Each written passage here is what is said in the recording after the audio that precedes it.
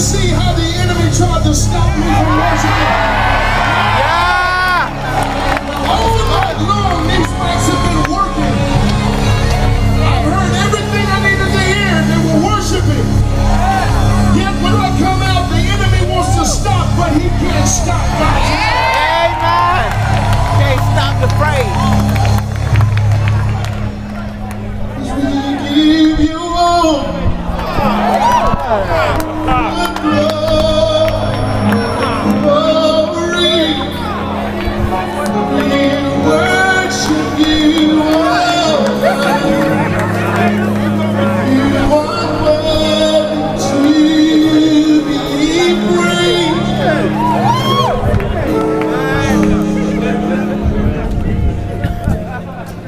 January 3rd.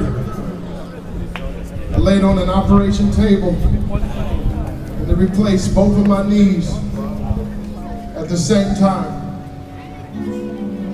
And I just prayed that I would have the strength to make it across the pond this day to come and worship with you.